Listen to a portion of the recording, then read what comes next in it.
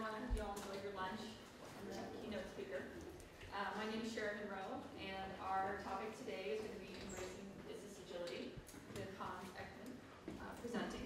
Hans has proven you can turn mild ADD, OCD, dyslexia, and other personality disorders into a successful career.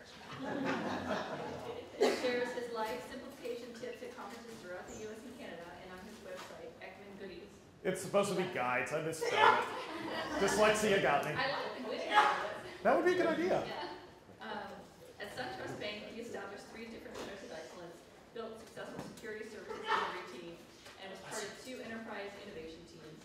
Hans currently serves as a principal research director at Info-Tech, the world's fastest growing information technology research and advisory company, proudly serving over 30,000 IT professionals. Thank you so much. Thank you. Well, out of all the great programmings in this hour block, thank you so much for coming here. Uh, out of curiosity, how many people joined me yesterday for seven tips? Okay, fair number. So there's not a lot of overlap, but there is a little bit, um, but it will feed into this. So one of our challenges we have is we're being told to be more agile. And agile versus a software methodology, agile versus a culture, what does that mean? And what I want to focus in here today is exclusively on how do we adapt agility and the need for agility into our businesses. Because the days of being able to create 5, 10, 20 year roadmaps and knowing where companies were going and having that stability are long gone. So we have to become more nimble, and that's what we're going to focus in on today. So, first, before we can talk about business agility, we need to figure out what we're talking about. Next, how can we talk about agility and delivering value if we don't define what value is and how it works? We're going to talk about some of the cultural changes that are going to need to happen for our companies to evolve and become more business agile. And then I want to introduce you to the Cynefin Network, uh, excuse me, Cynefin Framework, which is a way of looking at different areas of your organization, different um, challenges, and determining where agility may be able to help you the most. Sound good? Okay. So, what do we mean by agility? So, if I say agility, what am I talking about? Just in general, what does it mean to you? Yes? Be very adaptable, flexible. Okay, adaptable, flexible. What else? Iterative. Iterative. Excellent. Yeah. Continuous adjustment and improvement. Okay, continuous adjustment and improvement. So a lot of times when we're dealing with terms that we all kind of think we know, but each of us has our own definition and own criteria, we want to try and center in and come up with a common language. And when we're doing cultural change, one of the most important things to start with is understanding the language and what it means so that everyone in your organization aligns accordingly. So let's look at two examples. When we talk about agility in sports, what we're really talking about is the ability to respond to changing conditions and to either react to a threat or take advantage of an opportunity. So this is a very proactive. We're constantly looking, monitoring, and then we're adapting as we see things. If we look at animal agility, I love dog agility and dog agility courses, we're actually talking about the ability for our, the dog to respond not only to their environment and follow set patterns, but also to respond to commands. So when you look at the agility, how the course is laid out is always different. It's not like the dog has been training on that exact one, but they have certain patterns, they know how to go through certain obstacles, but what obstacles in which way, in which order, changes.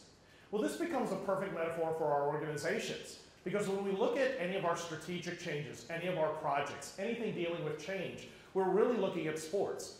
What are the threats we need to adapt to? What are the opportunities we can take advantage of? When we look at canine agility, we're looking at more of our operational teams. We have people and processes in place. How quickly can they apply the right pattern, the right process, the right tools to complete that particular work? I want to really simplify it for business agility though. And let's drill down to just two specific areas. One, we're trying to deliver value quickly, and we're trying to deliver value faster. I don't I haven't heard any company saying, well, I'm really interested in making changes so that we can do a lot less work and a lot less productivity and a lot less value, and we're going to spend more and take longer to do it. We're trying to deliver that value sooner. And we need to be able to respond to changes, threats, opportunities quicker. So, Can I get value out sooner? Am I more equipped to deal with changes in my organization? Very simple approach, but it'll let us focus in on. Let's look at two companies who are absolutely crushing it in this arena. The first is Amazon. If you think of Amazon and the entire Amazon ecosystem, there are so many moving parts. And one of the things they realized was they needed to be able to push out changes very quickly into different areas faster to see what worked and what didn't work. And on average, their IT groups are pushing out production code changes every 11.7 seconds.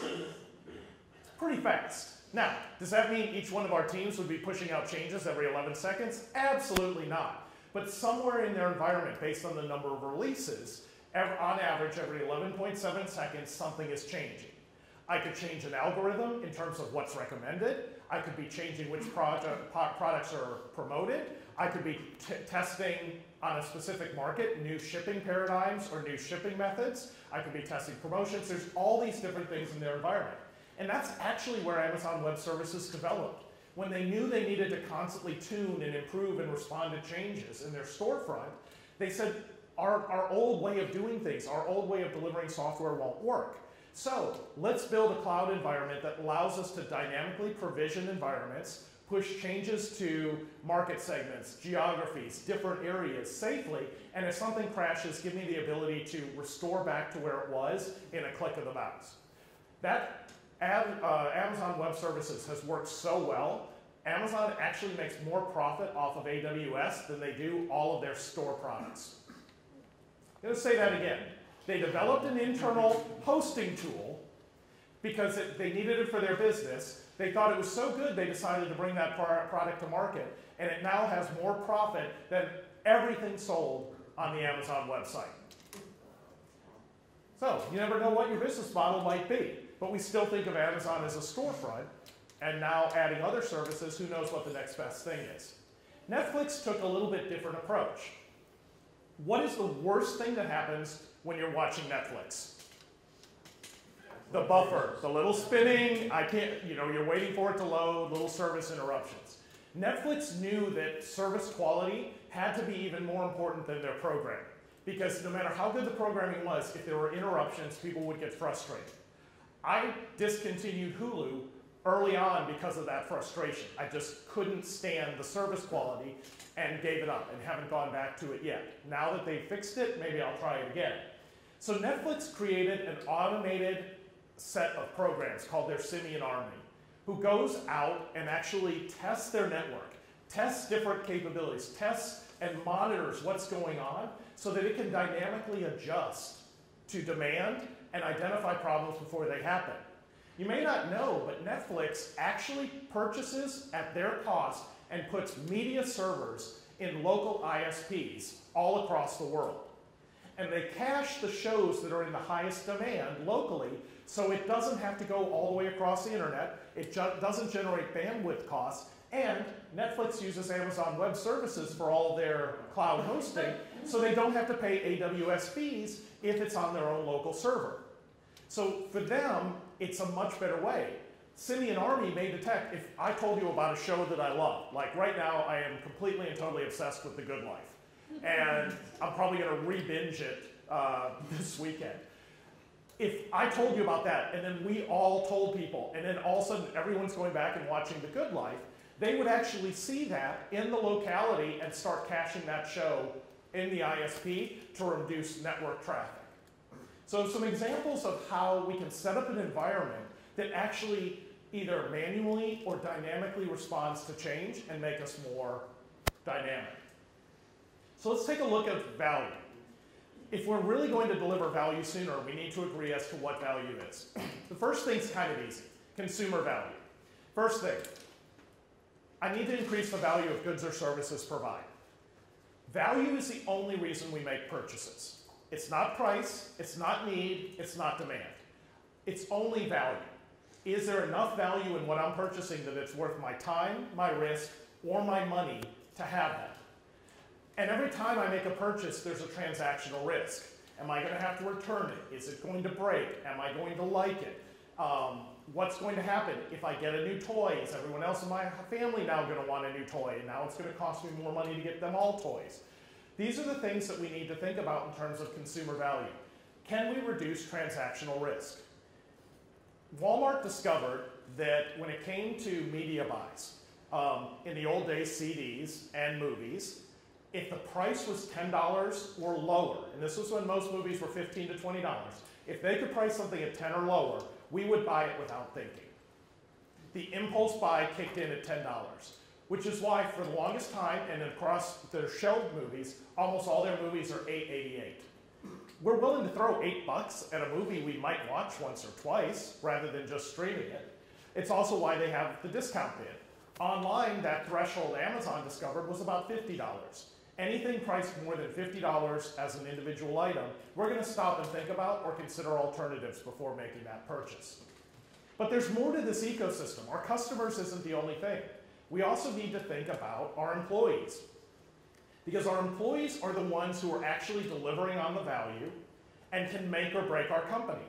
If you don't believe it, look at the customer satisfaction by airline over the last 50 years. Pan Am, Eastern, gone.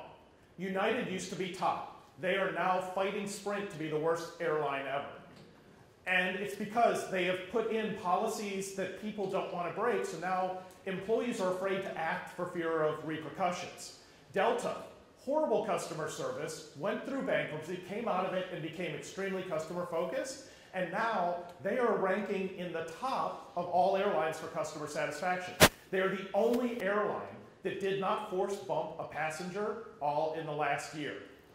Because their employees are empowered to offer enough money until everyone finally does it voluntarily. And so far, the record is $8,000 that they've paid to get somebody to drop a ticket.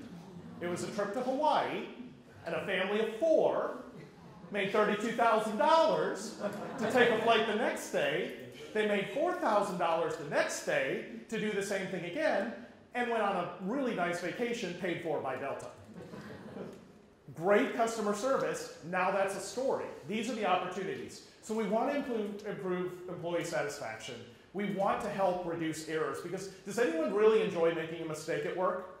Does anyone love the bad feeling, the embarrassment of, oops, I made a mistake?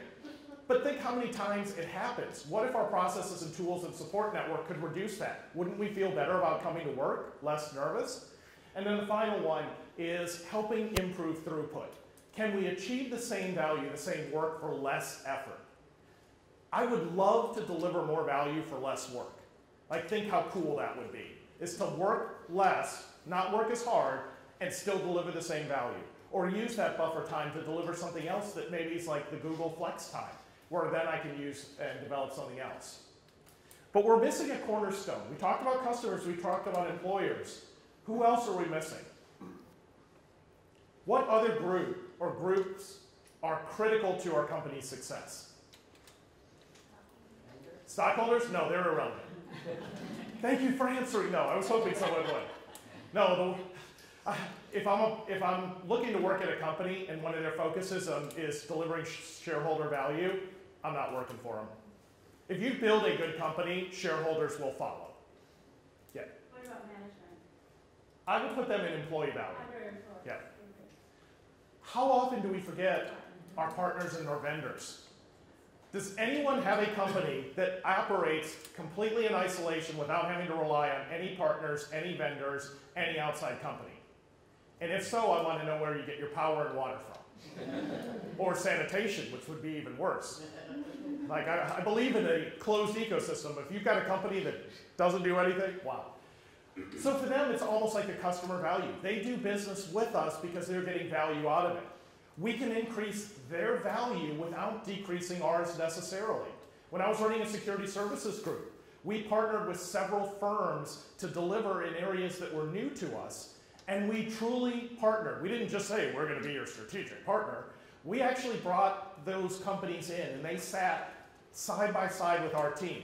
And there was no distinction in anything we did between employees, contractors, offshore, vendor resources. We all operated as one team with the same goals, participated in the same monthly meetings, the same quarterly meetings. There was no isolation because we were either going to be successful or flounder together. All right, yes, sir. Um, just going back to that last, the partner value, are you saying that like my company has a responsibility to make the goods or values that I'm receiving from my vendors better? Yes, absolutely. Because if you can create a value proposition that works for your vendor, they're probably going to do better work. The partnership and the investment you're making is going to last longer, and it has to be a mutual value. You're not, if you aren't getting the value, you're not going to keep them around. But if they aren't getting the value, then they're not going to stick around. And uh, without naming names, just imagine that there was a great big home improvement company that happened to be very orange. And they knew they were the biggest bully on the block. And so what they did was they continually squeezed their partners and their vendors to get the most value for them, forcing them to do inventory, them to do counts, them to do stocking all at their cost, and squeezing their margin down and down and down.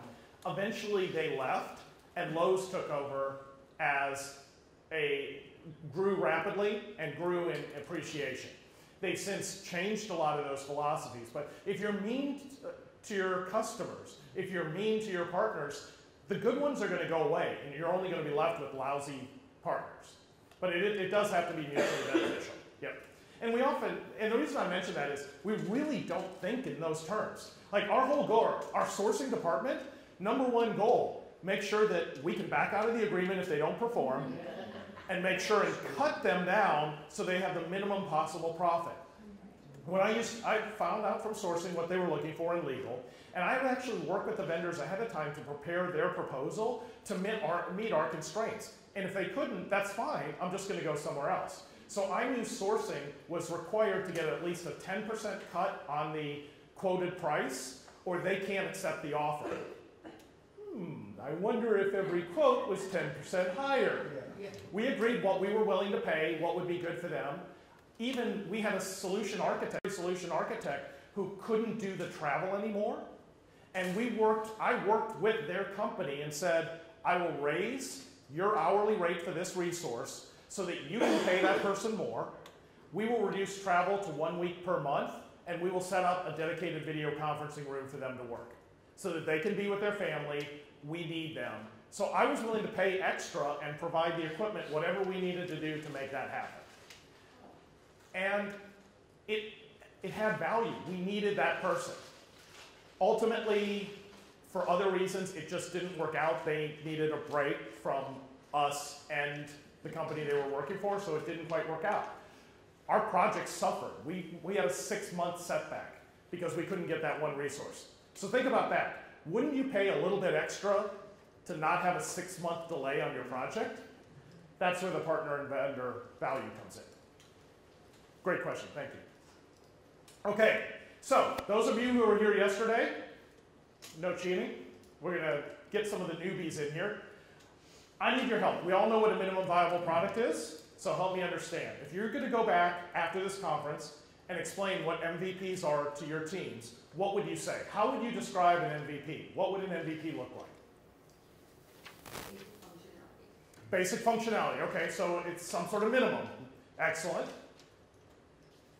The first release a end-to-end solution. Okay, first release. Does it have to be for a customer to use?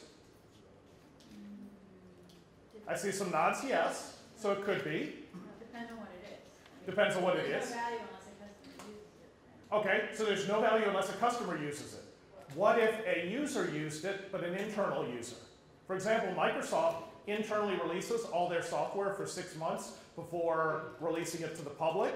Then they release it for three months for a special user group to test it out before it hits main market. So could an MVP be for an internal group of users to react to? Could it be a prototype? Could it be a proof of concept? To, it doesn't even work, but we're going to try several different ways and figure out which one would work. I, I don't know if it can be that. Okay, Because the proof of concept is really just proving the concept. It's just not scalable, it's not this, not that. So I don't know if it's, when I hear minimal viable product, I mean, that you can deliver to someone for, that gets value out of it, um, but it doesn't have all the bells and whistles yet. okay. So because you're looking for feedback. as this back to her. I appreciate you, you challenging. And that is, that is productive conflict. So depending on your culture, it could be that you define MVP as it has to be an externally facing. But the key is we've got to define and agree to what an MVP means. So it's very valid that that could be true, but we also need to recognize maybe there are other, um, there are other definitions we have to be aware of. So let's look at it in terms of building a car. So we want to build a car. That's our goal. That's our MVP. Is we know a car has wheels. We have to hold the wheels together with some sort of a frame. We need to have a chassis so that we can be protected. And by the time, it isn't until the very end when I've assembled the whole car do I potentially know whether or not I wanted a car or not, or what kind of car I wanted, or what features. We thought we knew, but at the end, is that really it? Because this is the first time I can tell whether or not our customers or our users are happy. We can't necessarily, we don't necessarily want to change what we think is going to be the outcome, but can we reframe what we're trying to accomplish? What if instead we define this as a transportation problem, a transportation goal? What's a skateboard? What's something that will let me go a little bit faster? But I need a little more control. Let's put a handle on it. What would the scooter look like? Now I want to go faster or carry more weight. What would the bicycle look like? I'm tired of pedaling. Let's put a motor on it. What would the motorcycle look like? And by the time I get to this car, I actually have potentially a bigger and a better and a more tested and a more validated car, even if I deliver both cars on the exact same day. Because I've learned all of these lessons along the way. I've learned all about what our users wanted, what's important, and I may or may not be able to reuse those products. I may have other products that I develop. I, they may all be throwaway, but either way, I've learned along the way. And so we need to start thinking in simple terms that an MVP are these steps along the way towards our desired outcome, not just a set of features. If we look at that and say, okay, well, what happens over time? So the first thing is imagine every hour of effort delivered an hour of value or some sort of multiplier of value. What if every dollar we spent delivered some dollar value of return? I could actually ideally create a straight line that would perfectly mapped to everything we put in, we're getting tangible value up. Now, is that reality? No. We have waste, we have loss, we have a lot of pre work that goes in. And that's what ends up happening when we develop the car. We do our analysis and our planning and our prioritization, and then we start doing design, and then we start building. And we're doing all this work, and we really haven't gotten anywhere close to delivering anything.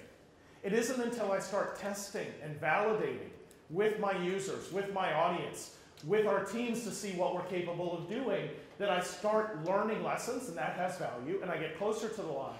But I don't hit that maximum value line until I have a car I can drive and test. Now, I could try and fight and change the shape of that curve.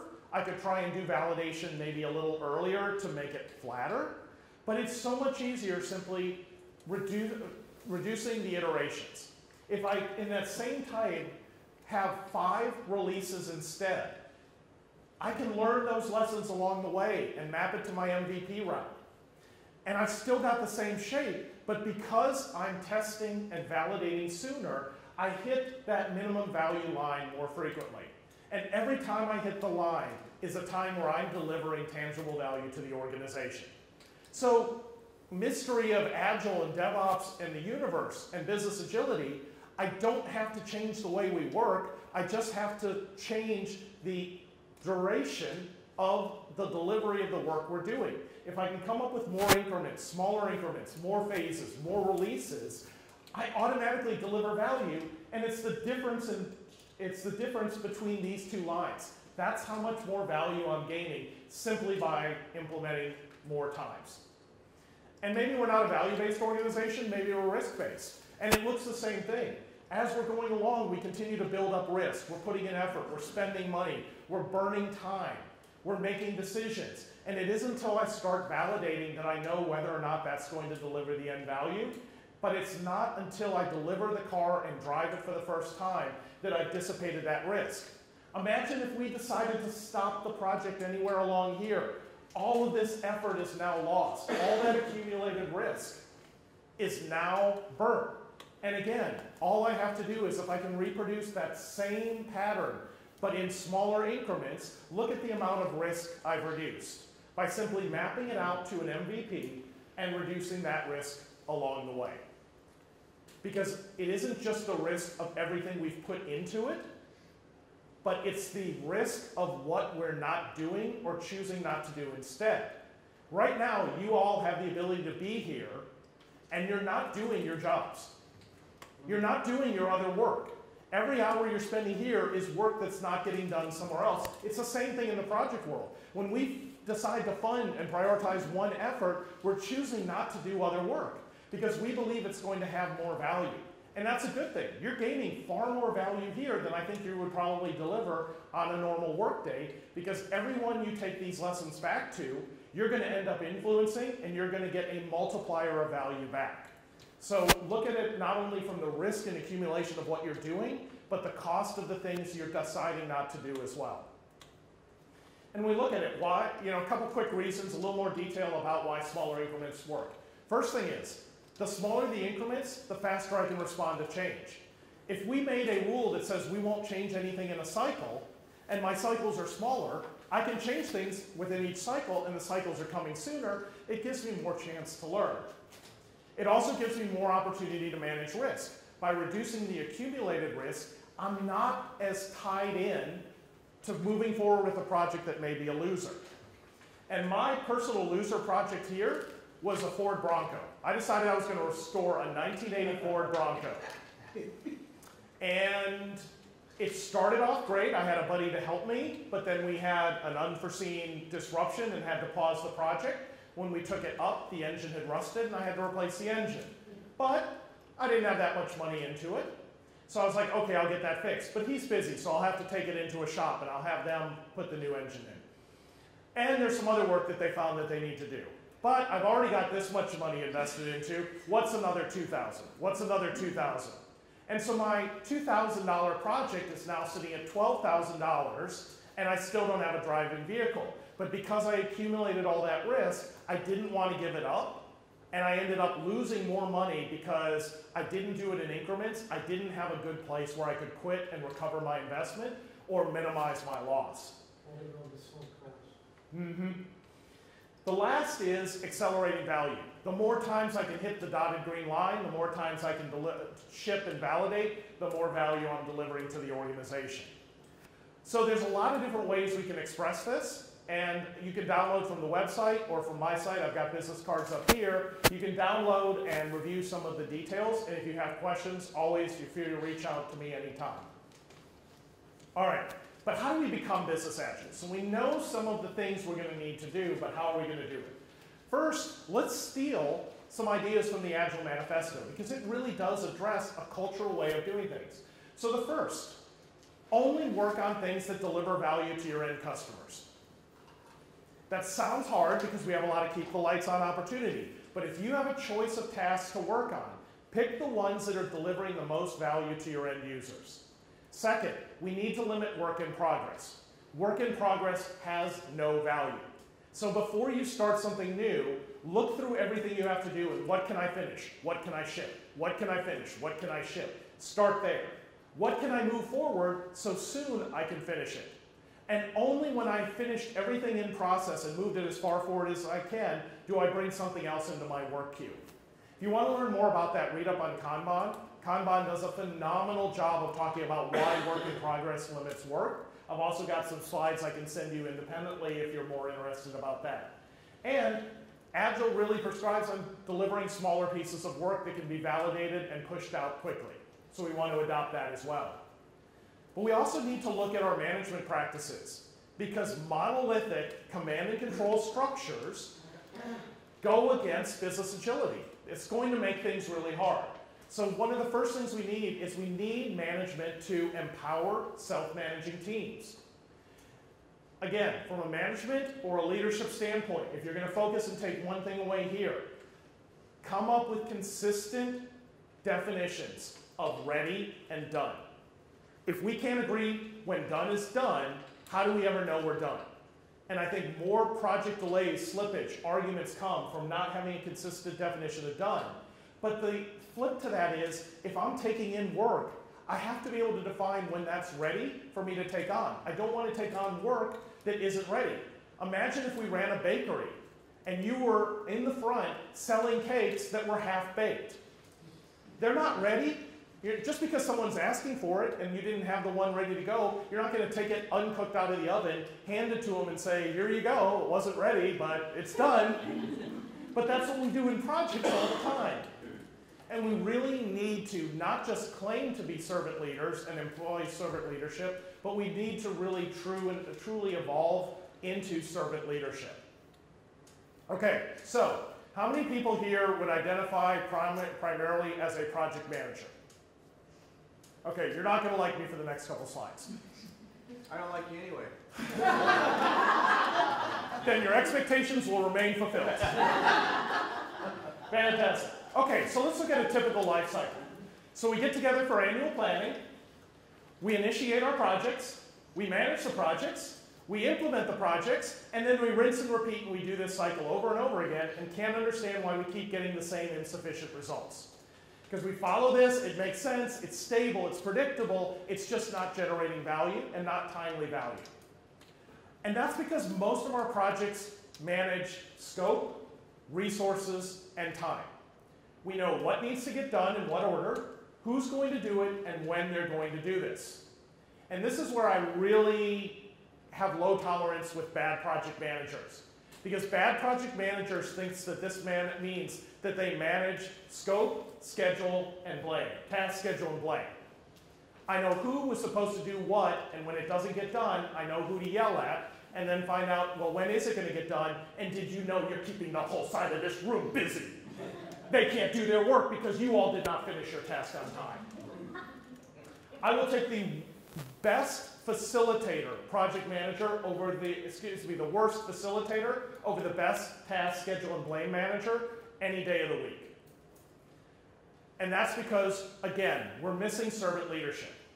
So we've mentioned servant leadership, but we haven't defined it. And I keep saying we've got to have common definitions. We've got to define it. Servant leadership. The bad way of doing this, and think in your head the managers, the directors, the senior leadership, your project manager, who said, hey, this is my project to deliver. This is my reputation. You're going to do this because this is my responsibility to get done. That is blame based management. It is not effective if you want to be agile. Instead, we need people who realize that I am responsible for supporting the team that is going to deliver the value. I am a servant to that team to make sure that they are successful. If you hear, I firmly believe, if you hear somebody say, I am a servant leader, they are not. Because anyone who is a servant leader, by nature of that culture, would never claim to be that out loud. They would know that they either are or aren't, and they have to demonstrate it. Because what they're doing is, instead of managing all these things, they're facilitating. What can I do to make all of you successful? What are some of the things you'll need to be successful? What are some of the obstacles I need to clear out of your way so that you can deliver the value? Because the people closest to the problem are often the best ones to solve it. And that's where we need to. It's my job, if you all were the team, it's my job to make sure that you are completely successful by getting those obstacles out of your way, helping you be successful, getting you the support you needed regardless of what it is. Anytime we can break something complicated down into three parts, we're more likely to remember and being able to implement it. So there's three core pillars to servant leadership. The first, I got to support the team. First and foremost, what does that team need to be successful? And probably most importantly, how can I run interference so that managers, other teams are not disrupting our team with silly requests, confusing messaging, helicopter management. We need to act as a buffer for our teams. I need to empower the team, which truly means helping them make better decisions and support the decisions they make and trusting those decisions. And finally, I want to listen to understand, not listen to respond. And if anyone's been in a relationship, nothing will save you faster than this. And I learned this by accident when I was in yet early on in my marriage. We are very much opposites. And I realized how, let me, how do I phrase this? how often my poor spouse just simply could not understand some of the basic things I was telling her. Because I would tell her what the right thing was, but she would continue to argue with me and say the same thing over and over again. And then one time I started getting really frustrated. I was like, there's no way. She is not stupid. And I was like, wait a minute. If she's doing the same thing I'm doing to her, and she keeps telling me something, it's because she doesn't think I heard what she said. And truthfully, I haven't really been listening. I just know I was right and needed to win the argument, which I've never won an argument in our relationship. And I started listening, not to respond, but to understand, and said, listen, is this what you're trying to say? Okay, let me consider that. I don't know how to change that. I don't know how to fix it, but let me do that. That started a change, and it has built year after year after year, and every year gets better, every year gets stronger, because most of the time we are list, truly listening to understand. Some of us do it better than others.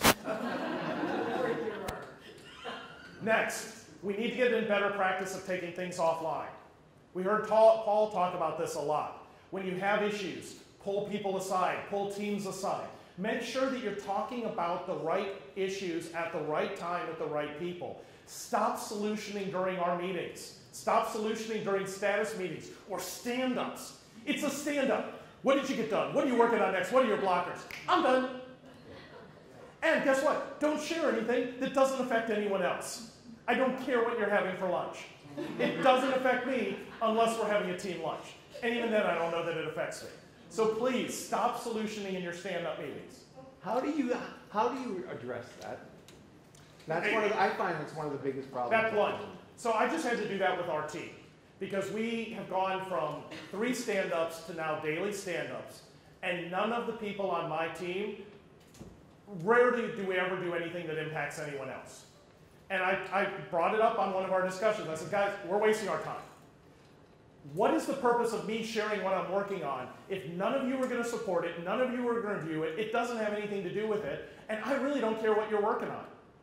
Can we focus in on, let's set the ground rules for each of these meetings? What is important? If I have calls and I need help with calls or call coverage, that impacts the team. Let's talk about it. If I have a blocker or there's something I need help, let's identify it so I can take it offline. And then bringing up, hey, I think we had a good meeting, but for our next one, let's see if we can focus more on those things that actually impact the team or that are part of the process that feeds the team. They will get better because nobody wants to waste their time. And if there needs to be a forum where people have a chance to solution or discuss, set up another meeting and make it an, we're going to have a one hour a week open forum to talk about all these things because this isn't the right meeting. But it is important. It's important to you. It's important to us. Let's pull a separate meeting for that those types of topics. And we did it, and it's, it, it's getting better. We're not there yet. When I was managing a, the security services delivery team, I implemented a rule because we had an extremely command and control structure. And a decision was only made three levels, sometimes two levels above your job grade. And that was a general rule at the bank. So I implemented a new one for our team. Don't ever come to me with a problem or ask for a decision. Come to me with an explanation of what it is. Make sure you've thoroughly looked at it and researched it. I want three recommendations, and I want, excuse me, three options and your recommendation. Using Decision Poker, um, look it up, Management 2.0 Decision Poker. Depending on the type of decision, I would fully delegate and they would be empowered to do that on their own. I might advise them and let them make the decision. Or I might have information that the team didn't have, so I may take their advice and influence their decision. But I tried to push as many down empowering the team to the team. At the end of the day, we never went with a decision that the team didn't recommend. We would discuss it, we would come up with one. We always went with the team decision the team selected because they were the ones who had to implement it. They were closest to the problem. They were on the hook. It's not my call. And then I defended them if that decision didn't work. So it was my decision to support their decision, so management yelled at me and I ran interference. I made the decision, I supported their selection, that's what we went with. If you have issues with it, I'm the one you want to have. You're not yelling at my team. They made the right choice based on the information they had. Okay, so when we're changing our culture here, we also need to change our task management. So right now, we estimate, we schedule, we link the tasks, we monitor, and we update. Again, this is bad project management. Instead, consider a technique in Switch by Dan and Chip Heath. Imagine what success would look like. Imagine writing a postcard to ourselves from the future and describing what that would look like. Then script the critical steps that have to happen. What are the things that we would have to do to reach that destination? Now our teams will constantly align on that destination, on that goal, on that objective. We will know the things that have to get done, and we'll continue to self-align on how to get those done. We also need to break things down into smaller time boxes and sprints. Again, smaller iterations reduce risk. So I'm going to push ahead a little bit because I want to make sure we have time to discuss the Cynefin network. The hardest part of the Cynefin framework is pronouncing it correctly. It's down at the bottom. I've had to rehearse this a lot of times. There are some really good uh, TED videos, um, a great Wikipedia overview. There's also a lot of other frameworks, so you may have one that you like better, but this was introduced to me by uh, Ryland, who actually helped me co-develop an earlier version of this presentation, and I've really latched onto it. There's four quadrants, four different states we find. If we are in a simple environment, it's where we have known knowns. These are our day-to-day operations. We know what we're doing, we just have to find the right process to apply at the right time, kind of like our animal agility. So this is our best practice. I sense, I categorize it, and then I just carry out the work. Would iterations, more iterations, would more business agility help us out in a best practice environment? Maybe, probably not, because I already know what to do. So I really don't have to worry about cycle time. I just see what needs to be done, I follow the process, and I do it, so there's really not much to iterate on. When I get into a complicated environment, and this is where a lot of our projects start, I have known unknowns. I know the things I'm going to have to discover and define and figure out. I have my requirements plan. I know what we're going to need to do. I know how we're going to validate the design, but I'm not sure. So in this case, iterations and agility is helpful because it helps me reduce the risks as I'm defining those unknowns. Now, where shorter iterations becomes great or ideal is when we're in a complex environment. And this is where we have unknown unknowns. I don't know what I don't know. So I've got to probe. I've got to sense what happens when I probe, and then I've got to respond. So the shorter the iterations, the faster I can learn.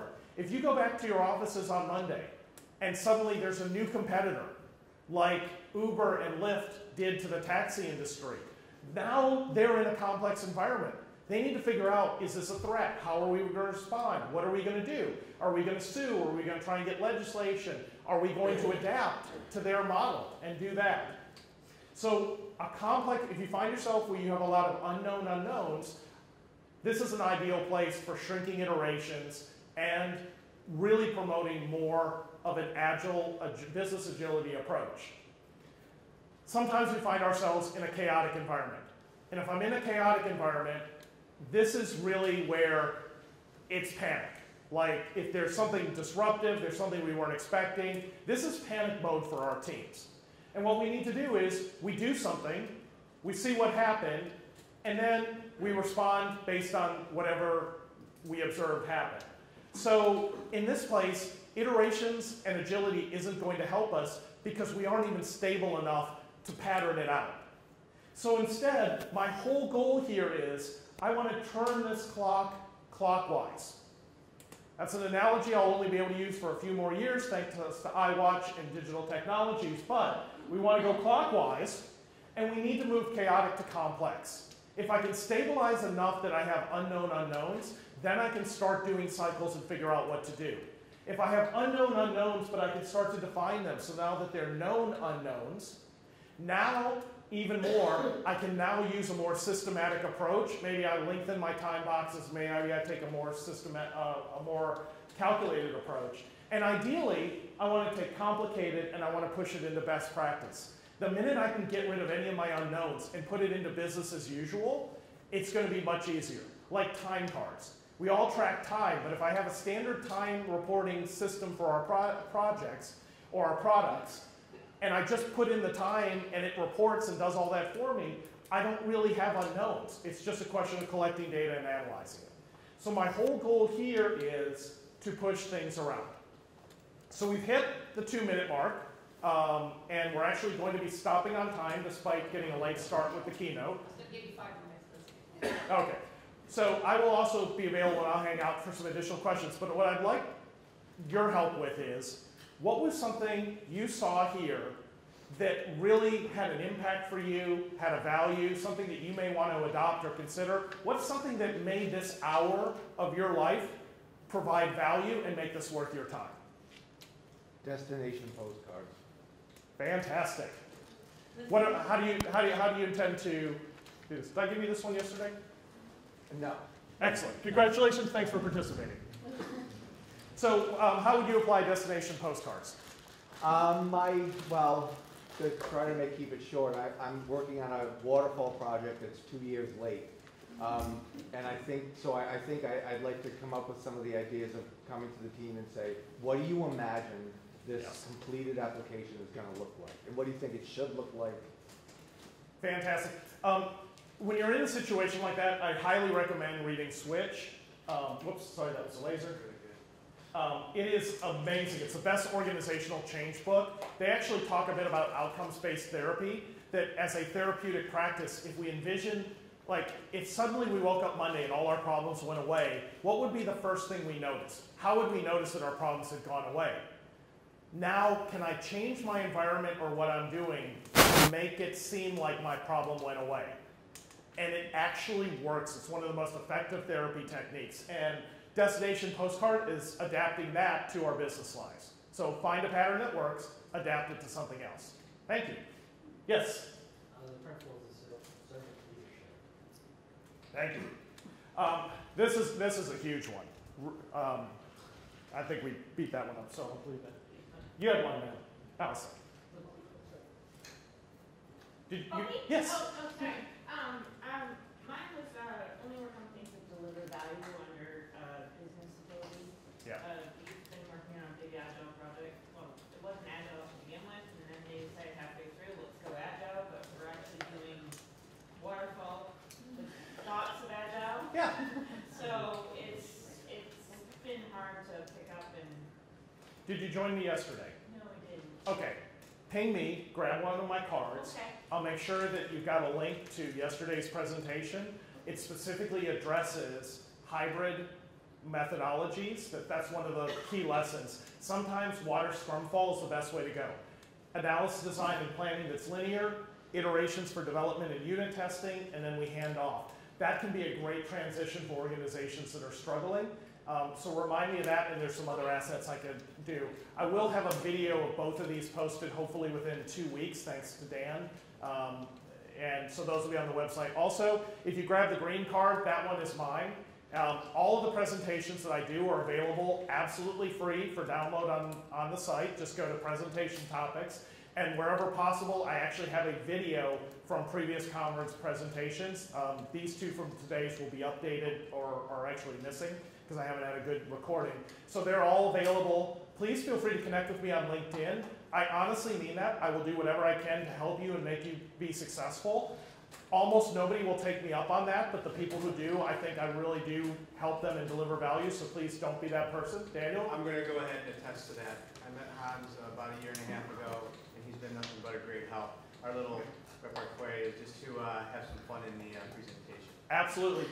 So I'm going to pause here. If anyone had anything else, please come up. Um, I'm going to start shutting down to make room so the next person gets set up. Thank you so much.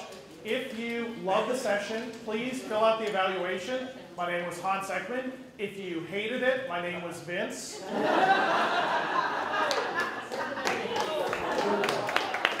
Thank you so much.